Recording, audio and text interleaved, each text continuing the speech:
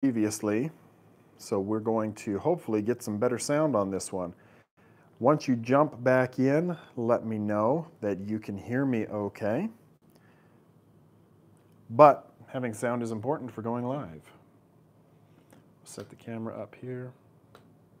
I'm going to tip it down a little bit. We're good now. So I did start this live just a moment ago. There was no sound. So I'm going to show you what I already unboxed. We started with the um, PR box from Glow Recipe. Glow Recipe has introduced a new product. We started with the Plum Plump Hyaluronic Acid Serum. Glow products do have fragrance, so they're not for everybody, but I think that they're good products. I think that they work well. Fragrance generally doesn't bother me. They use natural fragrance. They also have the Plum Plump Hyaluronic Acid Cream, so that's a good nighttime moisturizer. If, you're jumping in and you are so along with the Plum Plump line, they introduced a new Plum Plump Hyaluronic Acid Glossy Lip Balm. And this feels really nice on the lips. I've tried it. Good for sleeping and hydrating your lips. And um, I like that one a lot. So that was the unboxing from Glow Recipe. We're going to toss that out of the way. And then we moved on to First Aid Beauty. They've introduced a sunscreen. I've not tried this one before and it is a tinted sunscreen. So this is an SPF, uh, let's see, what does it say? SPF 30 with zinc oxide. So the main ingredient here is a 22% zinc oxide. Being a completely mineral sunscreen, it would probably leave a white cast if not for the fact that it is a tinted sunscreen. Most guys are not into tinted sunscreens. This is probably marketed towards women, but we're going to give it a try. I'll let you know what I think. We're going to see how strong the tint is.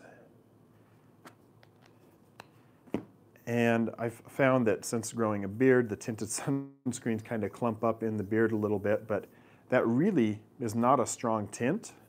I will definitely try that as a daily sunscreen over the next couple of days, and I'll let you guys know what I think about it, but it very lightweight, very fluid sunscreen. Not an overwhelming tint from First Aid Beauty. So new sunscreen. I always love when companies can make a nice mineral sunscreen that is not going to leave a white cast, and it doesn't look like this one will. It may be a different story on skin of color, but with a little bit of uh, tint added, probably from iron oxides, it does appear to be pretty good. So an ultra sheer tint that blends seamlessly is what they promise. That's from First Aid Beauty. so we're going to accumulate the products. I'm using this little screwdriver to open it. this is from James Brand in collaboration with Huckberry, and it's just a nice little screwdriver that sticks on your keychain. We'll open to it also. The next package, I'm not sure who this is from. A lot of these, sometimes they won't say the name of the brand on them. They'll just come from a shipping warehouse. So we're going to see what we got in this one.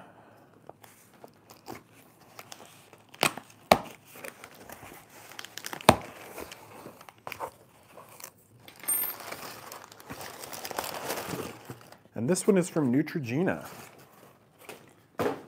So Neutrogena has sent some products. Here comes the sun. So we've got more sunscreen. So this is the whole collection of the Mineral UV Tint Face Liquid. This is one of the biggest challenges with a tinted sunscreen is that a lot of companies will come out with one single shade of the tint and it may not work well for every skin type. But the problem is that you cannot just create the same sunscreen and put a different shade of tint in it because you have to test each and every product to make sure that it is providing the SPF level of protection that it claims on the box. And so when you take that sunscreen and you put it in uh, another tint, another shade, you have to do all of the same independent testing, and that can get really expensive for a brand. Now Neutrogena is a huge brand owned by Johnson & Johnson, and so they have the money to go ahead and do that because they have four different tints for their mineral UV tint face liquid. So from light, medium, medium deep to a deep shade, it's going to complement a lot of different skin tones. I'm just going to open up the light face liquid tint and show you what that looks like. I'm not going to use the, the deeper ones. We'll just give those away probably um, on another video or maybe just do a giveaway here on YouTube, maybe over on Instagram. But this is their very light tint and we're going to put that right on top of the First Aid Beauty and kind of compare those. But sunscreen, one of the most important products you can use in your skincare routine. This one does not seem quite as blending in as the First Aid Beauty. But as we get it in there, it's really not, you know, overwhelming, at least at that very light tint. So you'd be able to find one that would complement your skin tone and do really well for you. So, so far we've got Glow Recipe, First Aid Beauty, and now Neutrogena sending four sunscreens. The next thing that we're gonna jump into here, this says from labwear.com, it feels like clothing. Don't remember ordering anything, so we're gonna see what has been sent if we can get this package open.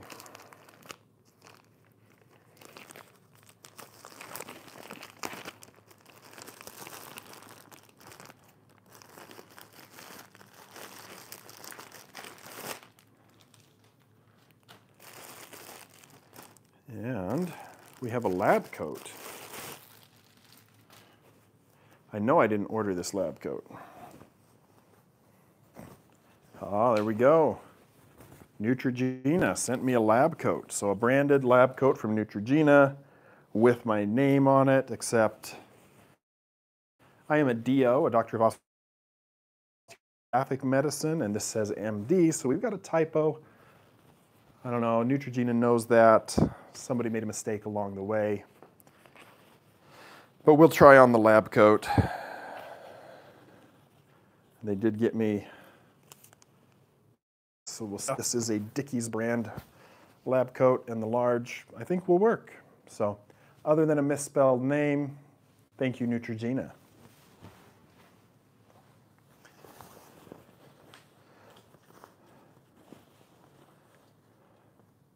Name is spelled right, the credentials are wrong. Got that out of the way. All right, Neutrogena, two gifts while I was gone out of town. Next, we're moving on to a box from Tatcha, so we do know the, who this one is from on the outside. I've used a few different products from Tatcha, and I've always enjoyed them. Their cleanser was one of my favorites, and I'm hoping that they've restocked my cleanser in here, because I believe I asked them to do that. Nope, didn't get a cleanser, but we have the Tatcha water cream, the Pore Refining Water Cream. I've used that before, it's very nice. And then the Dewy Skin Cream. I like that they come with this little golden spatula on top to dish it out. But Tatcha makes nice products. They're expensive. So if you get the chance to try them, I highly recommend it. Um, I have one of these open in my drawer. I've been using it at home occasionally, so we may have to use these for a giveaway. So the Dewy Skin Cream and the Water Cream, I love the products from Tatcha. I need them to send me another cleanser because the cleanser that I used from them was by far one of my favorites.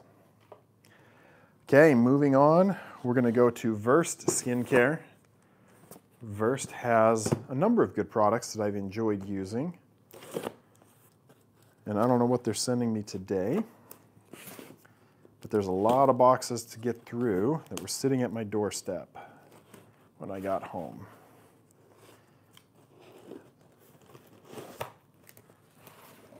Okay. Glowing complexions, Versed, high performance skincare for everyone. Doesn't tell me what's in here. I'm gonna open it up and see. Away when I'm doing my skincare. The Guards Up Daily Mineral Sunscreen, I have used this one. It's very nice. It's a zinc oxide sunscreen, SPF 35. I do believe it's tinted.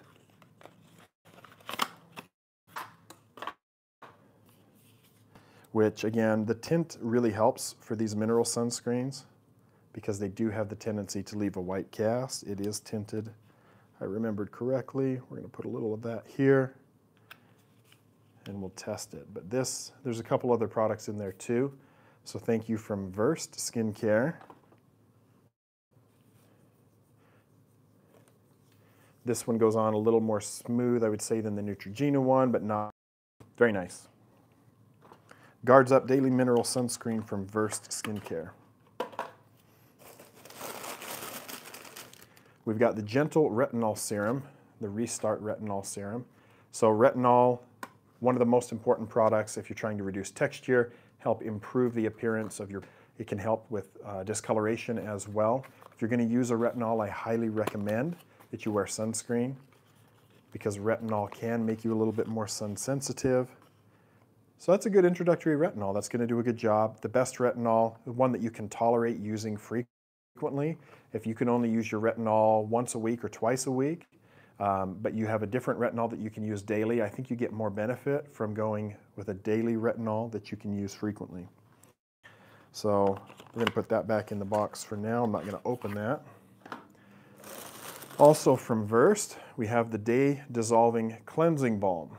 So if you're into doing a double cleanse, it can be really helpful for removing excess makeup or uh, sunscreen in the case of like myself. A cleansing balm is really great. You could also use a cleansing oil to do a double cleanse. So a balm is, of course, going to have a very thick, heavy texture, but then it warms in your hand, and it helps to remove some of those more oil-based products that you may have on your skin. So I do appreciate a good cleansing balm. And then a moisturizing gel cream, again from Versed Skincare. Generally, I like Versed. I haven't had any complaints about their products. This is going to be a fairly lightweight moisturizer. You can see the gel texture there. It's not a heavy cream. So if you don't like the texture of a heavier cream, gel-based moisturizer is going to do a good job. And if it's formulated well, it's still going to provide great hydration. One of my favorite gel moisturizers is from Neutrogena. Their Hydro Boost gel cream moisturizer does a really good job. I tend to prefer a really heavy moisturizer, um, but I find that the Hydro Boost still does a good job, even though it's got a very light texture. I do have more dry skin, uh, less oily. So some good products from Versed. That's everything in that box. We'll toss it away. I'll remove that because it looks silly. Moving on to Oars and Alps. Oars and Alps sent me a package probably two years ago. They have a lot of sunscreen products. I think it's a more men's focused company. Oars and Alps, of course, being like get in the boat, row the oars. Alps, you're hiking. So it's meant for active people who are outdoors a lot. That's kind of the target demographic. It's what they kind of use in their advertising material is people who are very active outdoors.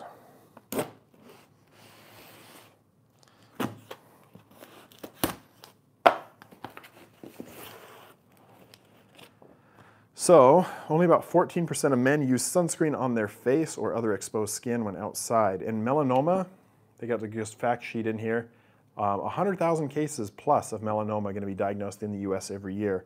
So, I think Oars and Alps has sent a number of their sun care products. We've got everyday sunscreen lotion, SPF 35. I've used that. It's very nice, very lightweight. The After Sun lotion with aloe and jojoba oil. So if you do get a little bit of sun and you need something, that's a good one to put on. You can get plain aloe vera as well. Keep it in the refrigerator and it's really cool and it feels good if you do happen to get a sunburn but there's an after sun lotion. 100% mineral sunscreen lotion SPF 50. This is probably more intended as a body type of sunscreen. It's a zinc oxide, 19.6%, uh, so almost 20% zinc oxide. Uh, I don't recall using this. I'm willing to bet it's going to leave a white cast just because of that high level of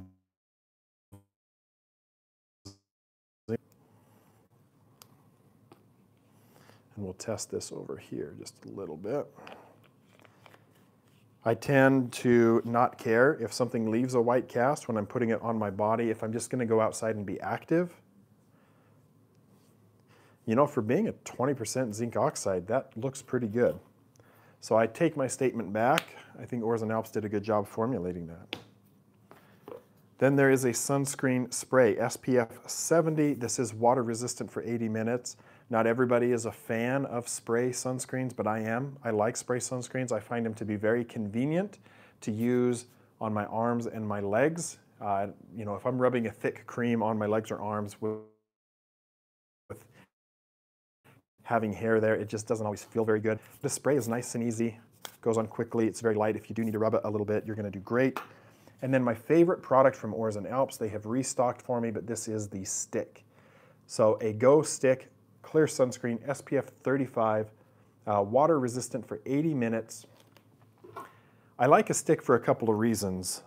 It's really easy to reapply when you're, when you're using a stick. So if you've got dirt or anything on your hands and you're out hiking, you're doing something, and you don't want to rub dirt all over your face because your hands are dirty, a stick is perfect to just reapply. So it goes on really easy. Hands, you know, are not getting rubbed all over. And this one, I've kept it in my truck before, even on hot days, and it's not melting. So they formulated it in such a way that it can go to some of those higher temperatures without completely melting. This is a mineral sunscreen, mineral sunscreen, sorry, this is a chemical sunscreen stick. So the active ingredients are avobenzone, homosalate, octisalate, and octocrylene. So no zinc in here, but if it were zinc, it's going to be a white stick. This is a clear stick. Um, again, my favorite product from Oars and Alps. And then a little beach bag with Oars and Alps. So thank you to Oars and Alps for restocking me. Let's put all those sunscreens in the bag. We're ready for a day at the beach. We're ready to go on a hike. and that's a nice bag. We've got a K-N-O-W, Know Beauty. I don't recall getting anything from them before, so this may be a new product for me.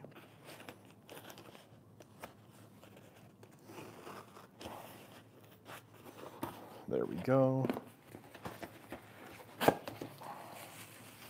All right, this one is from Know Beauty, the Glacial Bay Clay Mask.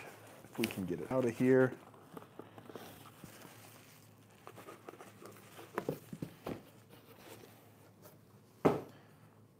Glacial Bay Clay Mask from Know Beauty. Um, if you guys have heard of this brand or used them, send a comment and let me know. Pop this open. All right. Removes impurities, tightens pores, and restores radiance. I've used clay masks before. Don't love them when you have facial hair. But that looks like a clay mask. So this is going to be something you put on for a little while after your evening skincare routine, but you'll wash it off before bed. Got a little bit warm sitting in the vehicle on the way over here. What else we got? Next one, Beekman 1802. I like the Beekman products. If you followed my short form video accounts like on TikTok or Instagram, you've definitely seen me talk about Beekman 1802 on my other YouTube channel. I did a full breakdown of Kat Stickler's Beekman 1802 routine. I like the products. They're formulated really well if you have sensitive skin they give some really good options if you're sensitive to retinol.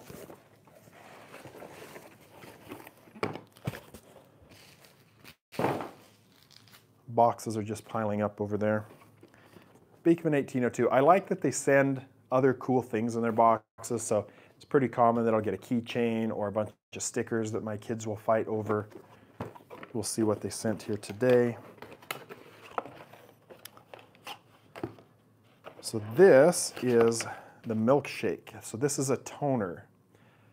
Toners used to be something that would help to balance the pH of your skin when you used a soap as a cleanser because soaps are very alkaline. So toners tended to be more acidic and the purpose of that was to get your skin's pH back to where it needed to be. So this is a hydrating toner. So this is not intended to change the pH of the skin. It's going to say it's pH balanced, I'm sure but it's hard to see maybe on video. Know, you can see it pretty well. we've got two different phases here. So you've got hyaluronic acid um, in a suspension here, and you've got squalane in a suspension up top. So the squalane is going to be very hydrating. Um, it's an important component of your skin's moisture barrier. Hyaluronic acid sits on top of the skin to give you a glowy and dewy look. So the intention when you use this is you shake it up first and you mix up those two different phases and then when you spray it on you're getting an even mixture but you need to use it you know pretty quick afterwards because you'll notice it's already starting to separate back out. But the milkshake is a fun product. It looks really cool, it works well.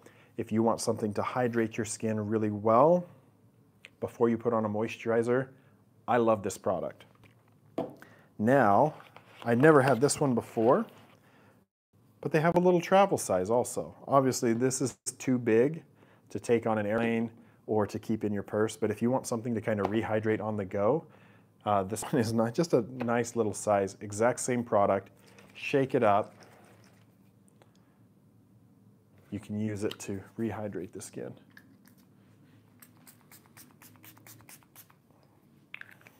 And then you put on your moisturizer, or you can just do that on the go if you need a little bit more hydration. So I love the milkshake from Beekman 1802. Doesn't look like we got any keychains or stickers today. That's okay. The skincare is enough. If you haven't used anything by Beekman 1802, I do recommend them. They're at Ulta. You can, of course, get them online. And we're down one more box. So this is just to advertise that they now have a travel size. Just about the size of your passport. Increase in hydration. Perfect.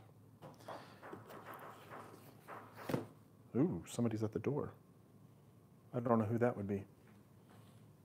Let's go see. I don't know who this is.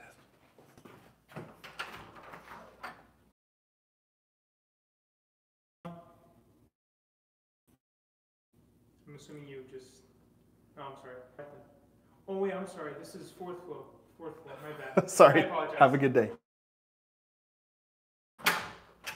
All right. Somebody came to the wrong door. They had a Slurpee in hand, though. I kind of wanted the Slurpee. Sorry about that. All right. Luminology. Sorry for that interruption. Now we're at Luminology.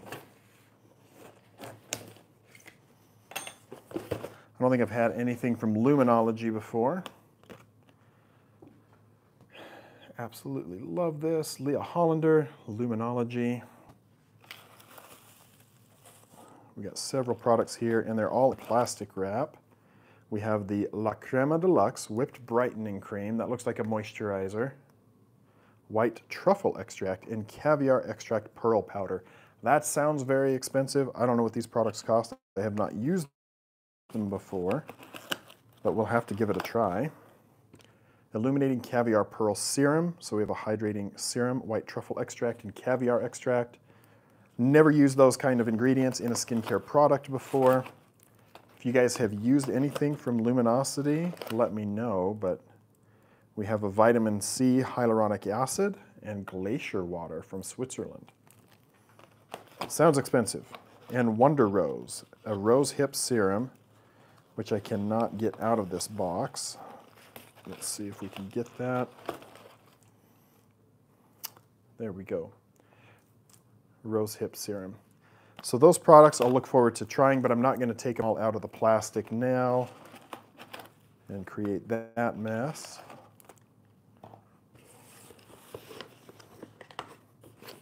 And we're down to one box, one final box. It's the biggest one. It's not skincare.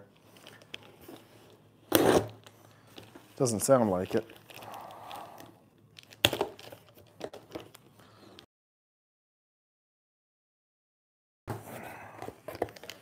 Last box.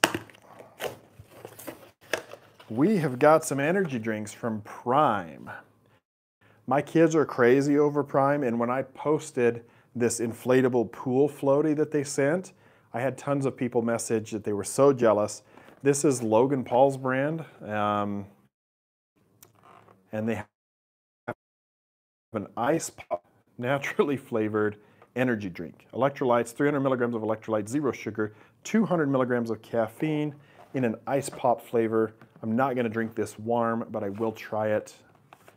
Now, one issue with Prime Hydration. This is this is my issue with their their uh, electrolyte drinks or their energy drinks, is they are loaded with potassium. So if you are on a low sodium diet, it's not a good idea to consume a ton of potassium because your kidney kind of balances your potassium and your sodium. And if you consume a ton of potassium in a very low sodium diet, you could get too much potassium in your bloodstream that can actually potentially cause an arrhythmia in the heart.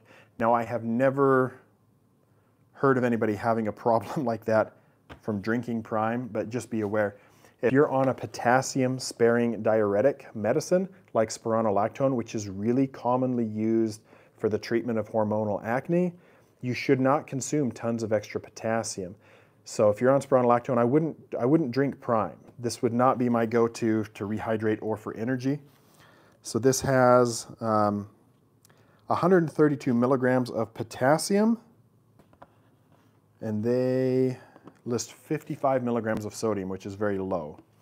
Um, that's my one gripe about Prime, is that when they claim to have all these electrolytes, it's mostly potassium because they use coconut water. Coconut's very high in potassium, and that's not the best thing for everybody.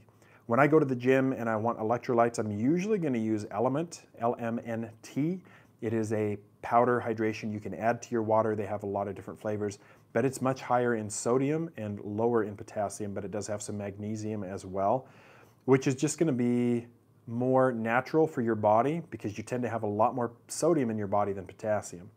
Um, your body tightly controls that through your kidneys, so you just want to be careful not to overload on potassium your body's a, a, lot able to, a lot better able to handle that excess sodium if you're going too high, unless you have kidney problems or um, heart failure. So, young and you're healthy, you'll probably do fine drinking Prime or something with sodium. You know, Gatorade's going to be a little higher in sodium than it is in potassium. So, we're going to put this in the refrigerator. Let that stuff get cold.